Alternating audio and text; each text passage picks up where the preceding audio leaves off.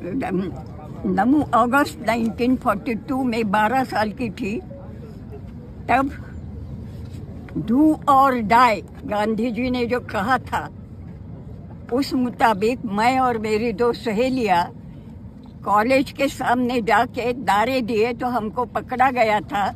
शाम तक बारह ही साल के थे करके शाम तक पकड़ के पुलिस चौकी में रखा और बाकी छोड़ दिया।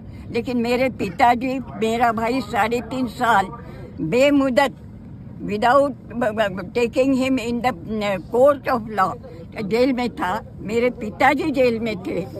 और देश की आज़ादी जो है, इस तरह से मिली नहीं है आज जो कहा जाता है। उसके लिए बहुत सारे छोटे अमीर गरीब सब और सब धर्म के लोग उस समय गांधी जी के साथ खड़े रहे और एक मानवीय जो शक्ति होती है, वो शक्ति निर्माण होके अंग्रेज़ों के पास पूरे आयुध थे।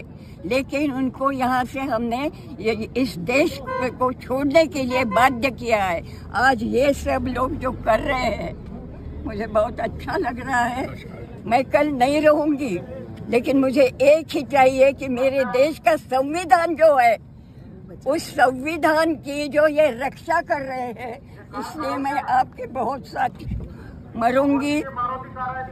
तो शांति से मरूँगी, वहाँ जो आप नहीं नहीं आप नहीं मरेंगे अभी ज़िंदा रखेंगे। जीते रहेंगे आप ज़िंदा रहेंगे। संदेश दूँगी। उनको कहूँगी कि चिंता मत करो मेरे ये सब जो लोग हैं ये, ये सब लोग दीदी तुम्हारा नाम क्या? आप, आपका सपना कभी भी तोड़ेंगे नहीं ये मैं ऊपर कहूँगी और इसीलिए मैं आज